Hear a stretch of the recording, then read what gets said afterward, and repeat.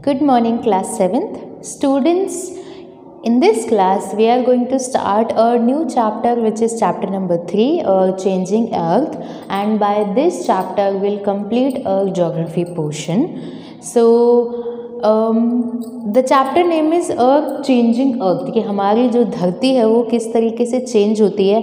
अगर हम अंदरूनी बात करें तो अर्थ सरफेस के अंदर, अगर हम बाहर बात करें तो अर्थ सरफेस के बाहर। तो इसमें चेंजेस कैसे आते हैं? So let's discuss this with the introductory part of this chapter so may a major earthquake shook a part of the earth causing major destruction earthquake का मतलब है भूकंप। तो एक भूकंप का मतलब एक जो प्लेट है हमारी जो पूरी अर्थ है, वो प्लेट्स पर टिकी है।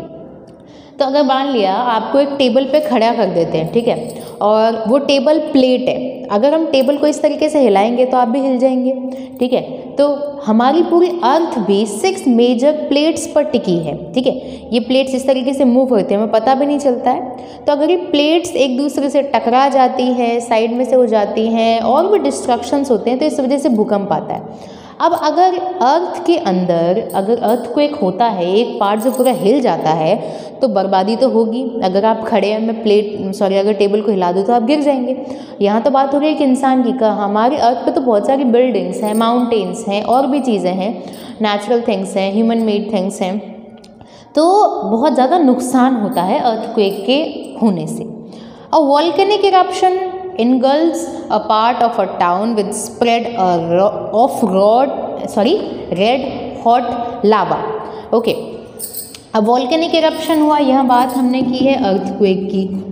अर्थक्वेक की अर्थक्वेक के डिस्ट्रक्शन मतलब शुक मतलब हिलने से डिस्ट्रक्शन हुआ। वहीं पर हम बात कर रहे हैं वॉल्केनो की। वॉल्केनो भी बहुत ज़्यादा खतरनाक है। ये हमारा वॉल्केनो ये हमारा अगर टाउन है तो यहाँ पर से वॉल्केनो फटा हमारा और सारे के सारे टाउन्स को अपने अंदर, अपने लावा मैग्मा के अंदर बहा के ले जाए या फिर जला दे। तो इससे भी बहुत ज़्यादा नुकसान होता है। एंड ये तीसरी बात है हमारी सुनामी की। द किलर वेव्स जिन्हें नाम से बोला जाता है मतलब ये ज़िंदा तो रहने ही नहीं देंगी। सुनामी सुनामी में बहुत ऊँची ऊँची लहरें आती हैं। ये ऊँची ऊँची, और हम लोग यहाँ रह रहे हैं और हमारी ऊँची ऊँची लहरें आ रही हैं, और ये सब बहा के ले जाती है अपने साथ। The killer waves of tsunami submerge and wipes wiped off some coastal areas कुछ कोस्टल एरियाज़ को बहा के ले जाती है सबमर्ज मतलब अपने अंदर समा लेती है, दबा लेती है, ठीक है? तो ये हो गए। You must have read in newspaper और seen on some tele on the television about nature's fury these are sudden changes ये क्या है? अचानक से होने वाले चेंजेस हैं। अर्थ को एक ऐसा तो है नहीं फ़ोन करके बताएगा कि मैं आ रहा हूँ या फिर सुनामी बताएगी टेलीग्राम भेजेगी लेटर भेजेगी मेल करेगी व्हाट्सएप करेगी। ये सारे क्या है? अचानक होने वाले चेंजेस हैं। Okay sudden changes that occurs on the earth surface ठीक है? ये सारी चीज़ें अर्थ के ऊपर हुई हैं अर्थ के नीचे नहीं। मतलब जो डिस्ट्रक्शन है, जो तबाही मची वो तो अर्थ के ऊपर ही मची है। तो ये सारी चीज़ें सडन चेंज अचानक से बदलाव ले आती हैं अर्थ के सरफेस के ऊपर। These are due to sudden movement that originate within the earth और ये सब क्यों होता है कि हमारे अर्थ के अंदर कुछ चेंजेस होते हैं जिसका रिज़ल्ट हमें बाहर देखने को मिलता है। अर्थ क्वेक में मैंने बता दिया अर्थ क्वेक में प्लेट्स हिल जाती हैं डिस्ट्रक्ट होते हैं। Because of this earthquake होता है, बाहर तबाही मच गई। अंदर के होने की वजह से बाहर तबाही मची।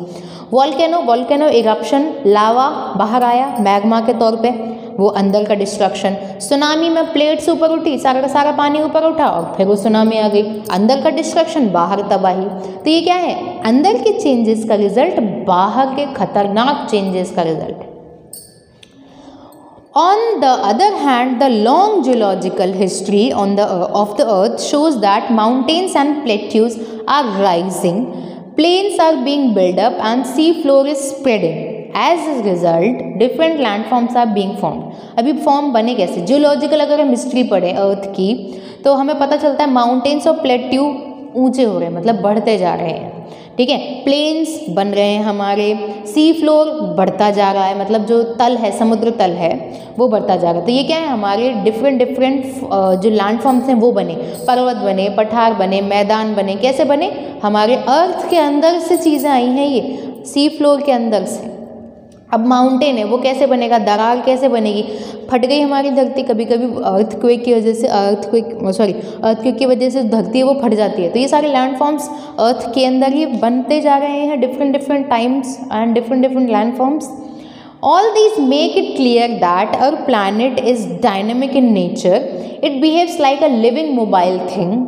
In the previous chapter we have studied the earth is continuously changing due to the internal and external forces हम लोगों ने पिछले चैप्टर में ये देख लिया था अर्थ को एक पढ़ लिया था हम लोगों ने इसके अंदर हम लोगों ने रॉक्स एंड मिनरल्स पढ़े थे क्रस्ट मेंटल कोर पढ़ लिया था, ये सारी चीज़ें हम लोगों ने रिवाइज कर ली थी। तो हम लोगों ने पिछले चैप्टर में जूलॉजिकल अर्थ के अंदर जितने भी चेंजेस थे वो देख लिए थे। Okay now in the previous chapter you have studied that the face of the earth is continuously changing due to the internal and external forces ठीक है?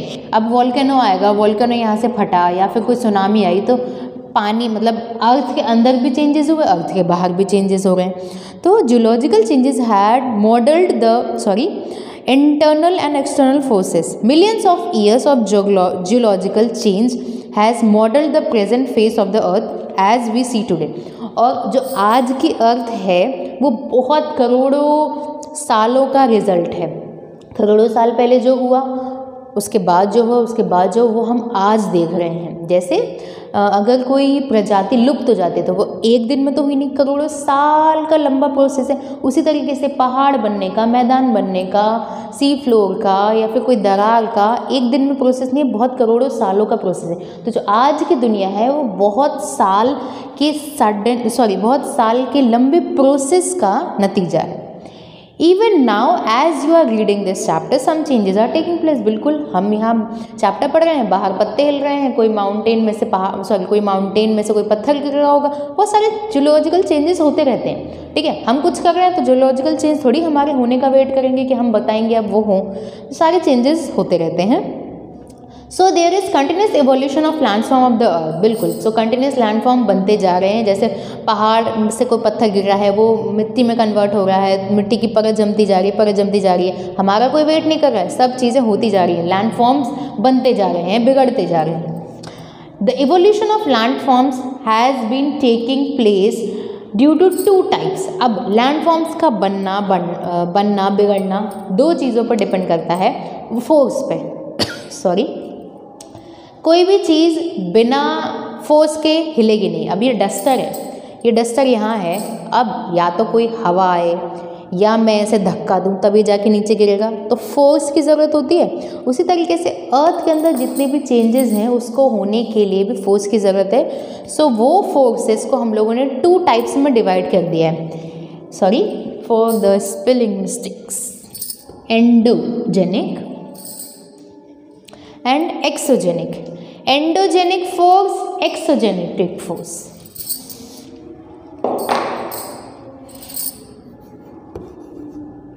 endogenic force and exogenic force okay so endogenic exogenic को भी हम लोगों ने parts में divide कर दिया. एंडो और एक्सो का मतलब होता है. Endo means end sorry endo का मतलब जो भी चीज़ें अर्थ के अंदर हो रही हैं, वो किस, कौन सी फोर्स है? एंडोजेनिक फोर्स और अर्थ के बाहर जो हो रही है वो एक्सोजेनिक मतलब बाहर एक्स एंड एंड मीन्स अंदर, ठीक है?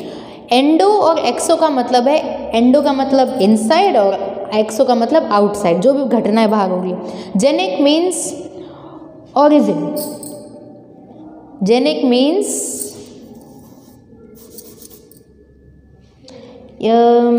yes origin पैदा हुई या फिर उत्पन्न हुई स्टार्ट हुई तो इनसाइड जो भी चीज़ें ओरिजिन हो रही हैं, वो एंडोजेनिक आउटसाइड जो भी चीज़ें ओरिजिन हो रही हैं, वो exogenic endogenetic forces exogenetic forces okay अब यहाँ पर तीन टाइप्स के अर्थ को एक वेव्स का एक डायग्राम है अर्थ को एक वेव्स ठीक है? अर्थ को एक वेव्स चलती हैं, कैसे? पी एस एल तीन टाइप्स की ले सॉरी वेव्स होती है। P means longitudinal waves S means transfer waves and L means surface waves इनके नाम हैं, ये किस तरीके से अर्थ को एक वेव्स चलती हैं? जैसे अर्थ को एक आता है आपके लैंड सरफेस एरिया के नीचे तो वो ट्रैवल करती है अर्थ वेव्स ठीक है? हमारे अर्थ पे इस तरीके से, ठीक है? इस तरीके से पता चलेगा आपको। यहाँ अर्थ पर हमारा अर्थ क्विक आ गया, ठीक है? तो ये जो वेव्स ट्रैवल करती हैं, किस किस फॉर्म में? पी एस और L primary secondary and longitudinal waves के ज़रिए। तरंग जिसे हम हिंदी में बोलेंगे।